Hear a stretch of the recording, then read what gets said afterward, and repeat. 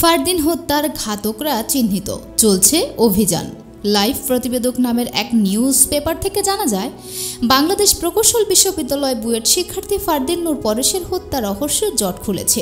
ডেমরা রূপগঞ্জ সংলগ্ন চনপাড়া বস্তির একটি সংবদ্ধ অপরাধ চক্র এই হত্যাকাণ্ডের সঙ্গে সম্পৃক্ততা থাকলেও থাকতে পারে এমনটাই ধারণা করছে গোয়েন্দা সংস্থা।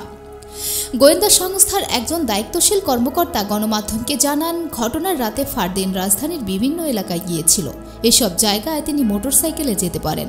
আর সেই মোটরসাইকেলের চালক ছিলেন পলাশ। তার বাড়ি রামপুরায় বলে জানা গেছে। তদন্ত সংশ্লিষ্ট কর্মকর্তাদের ধারণা, ফারদিনের সঙ্গে পলাশকে হত্যা করা হতে পারে। কারণ সেও ওই দিন থেকে পলাশের খোঁজ মিলছে না। তবে এখনও নিশ্চিত হওয়ার জন্য একাধিক সংস্থা অনুসন্ধান শুরু করেছে। এদিকে ফারদিনের হত্যাকাণ্ডে ডেমরা রূপগঞ্জ সংলগ্ন চনপাড়া বস্তির একটি সংবদ্ধ অপরাধ চক্র সম্পৃক্ত আছে বলে তথ্য পেয়েছেন গোয়েন্দা সংস্থা। চনপাড়ার এক নারী বাসা সংলগ্ন এলাকায় ঘটনাটি ঘটেছিল। এ ঘটনায় প্রাথমিক তথ্য থেকে আইনশৃঙ্খলা বাহিনী চনপাড়ায় অভিযান চালিয়েছেন, তবে অভিযানে কাউকে গ্রেফতার করা হয়নি। এ ব্যাপারে মুখও খোলেননি। এদিকে ফারদিনের ছোট ভাই আব্দুল বিন নূর তাজিম বলেন, ফারদিন মাদকের সঙ্গে সংশ্লিষ্টতা ছিল না। দূরের কথা, সে তো কখনো সিগারেটও খায়নি।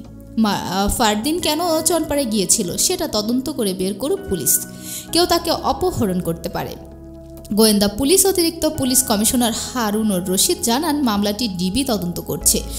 হত্যাকাণ্ডের রহস্য উন্মোচন নানা বিষয় নিয়ে খতিয়ে দেখছে তারা। জড়িতদের শনাক্ত করে আইনের আওতায় আনা হবে। প্রসঙ্গত, চার নভেম্বর রাত নিখোঁজ হন বইয়ের ছাত্র ফারদিন। ফারদিন নিখোঁজের পর সন্ধ্যার দিকে সিদ্ধিগঞ্জের বনানীঘাট সংলগ্ন লক্ষ্মীনারায়ণ কাটন মিলের পেছনের দিকে তার মরদেহ উদ্ধার করে পুলিশ।